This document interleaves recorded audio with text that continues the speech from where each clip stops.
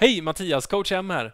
Välkommen tillbaka till ännu ett vlogginlägg i den här kanalen för dig som vill optimera din hälsa, funktion och prestation. I dagens vlogginlägg så kommer jag att ta upp fenomenet pronation, alltså att man trampar inåt i foten och får ett utåtvinklat hälben.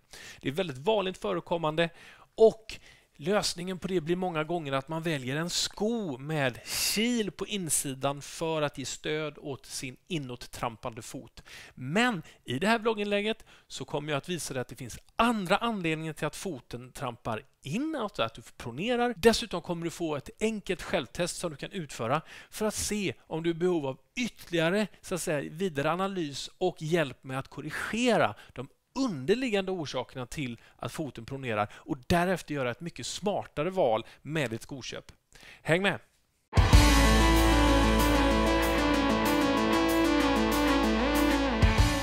Ja, när vi går till vår sportbutik eller då den dedikerade löpbutiken för att få hjälp med val av sko, då är det ofta så att vi genomgår en löpanalys eller en gånganalys, det vill säga man gör en video Eh, inspelning av eh, fotisättningen i samband med gång eller då löpning.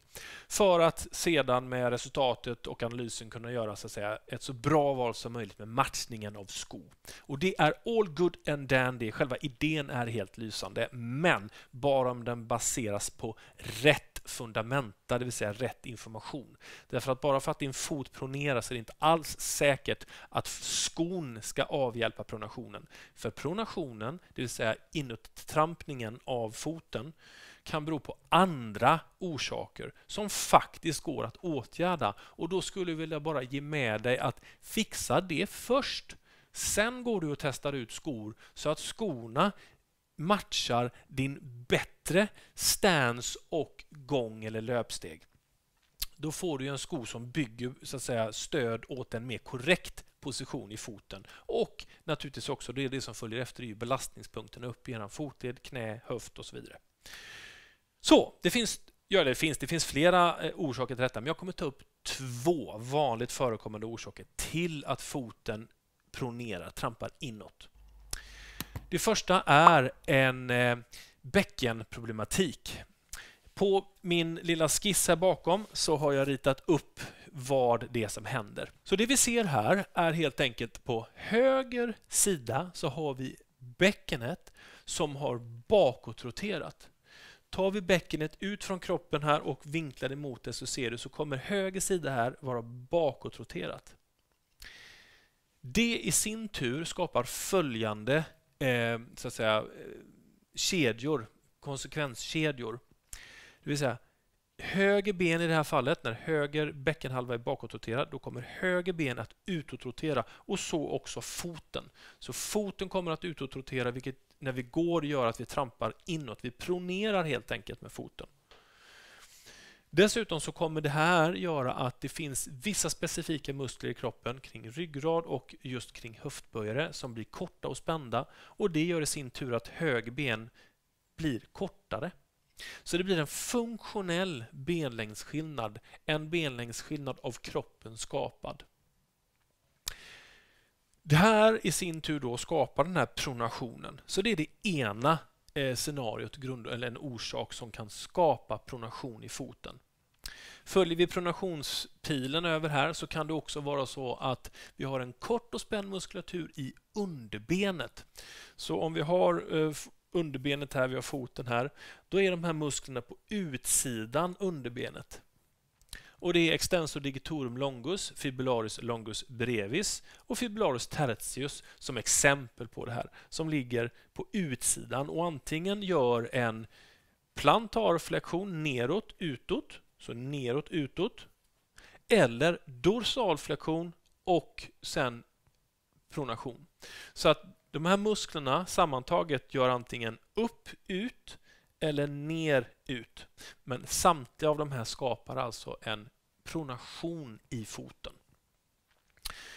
Så det kan vara eh, något utav det eller båda två. Det eh, är inte helt sällan att man har en, en kombination av det här.